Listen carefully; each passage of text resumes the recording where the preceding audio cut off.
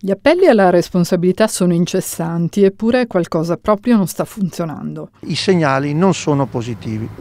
Un'affermazione non certo campata per aria da parte di chi durante l'intero lockdown ha svolto un ruolo fondamentale consegnando dispositivi di sicurezza comune per comune, addirittura casa per casa dove ce n'era una necessità. E proprio i rifornimenti che in queste settimane si stanno susseguendo fanno credere che la seconda massiccia ondata di contagi non sia proprio soltanto un'eventualità. Attualmente abbiamo ricevuto dalle istituzioni regionali segnali eh, di attenzione, eh, sono riprese le forniture eh, di dispositivi di protezione individuale, noi ci siamo messi a disposizione delle nostre due aziende sanitarie ATS e ASST per i quali curiamo i trasporti dal magazzino di Rofiera fino, eh, fino qui a Sondrio e eh, abbiamo messo a disposizione anche la gestione del magazzino per ragioni di spazio, quindi eh, effettivamente stanno arrivando mensilmente grandi quantità di dispositivi di protezione individuale sia per il volontariato che per eh, gli ospedali.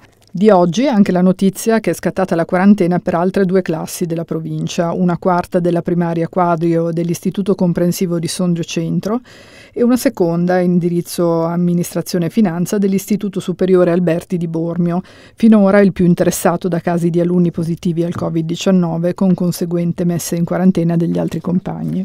Abbiamo ricevuto proprio stamattina la comunicazione di ATS, dunque abbiamo cercato di avvisare per tempo tutte le famiglie dei bambini interessati.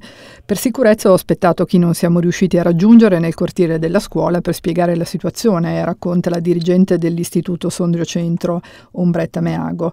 Devo dire che le famiglie sono state estremamente collaborative. La loro preoccupazione era soprattutto quella di come, diciamo, sistemare i propri figli in queste mattine senza scuola.